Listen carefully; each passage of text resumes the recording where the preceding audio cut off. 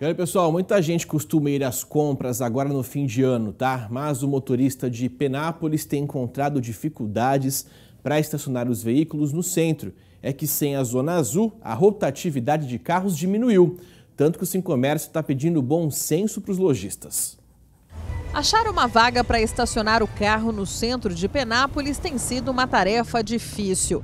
É que a cidade está há meses sem zona azul. Para ficar próximo do centro aqui, na região central aqui, você tem que rodar até achar alguma, né? Porque também tem bastante bolsões de moto também, né? Então isso aí também diminuiu as vagas. A gente tem que às vezes dar várias voltas e procurar um lugar até bem distante da, da onde a gente prefere ir ou, na outra opção, pagar um estacionamento, né? Quem administrava o serviço no município por mais de 20 anos era a PAI. Só que a associação parou com o trabalho em setembro, alegando prejuízo.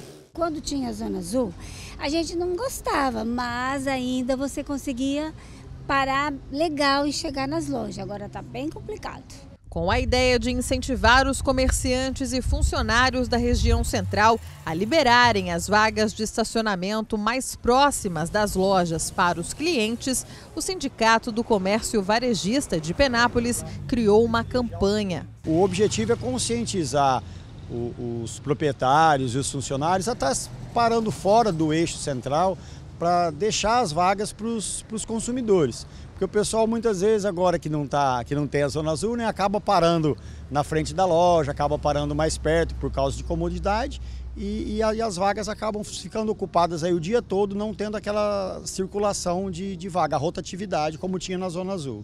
Por enquanto, nada de Zona Azul em Penápolis, mas essa é uma situação que pode mudar já a partir do ano que vem.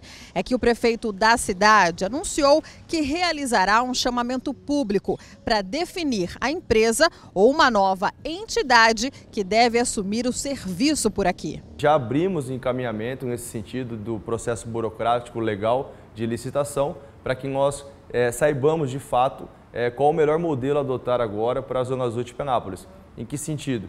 Quanto custa é, o equilíbrio da Zona Azul de Penápolis, quantas vagas possuem, se vai ter rotatividade com fracionamento de, de, minutos, que é algo desejado pela comunidade de Penápolis e nunca teve aqui no nosso município, e depois todo um tempo necessário é, para quem for é, explorar a Zona Azul, utilizar desses espaços para colocar em prática o contrato.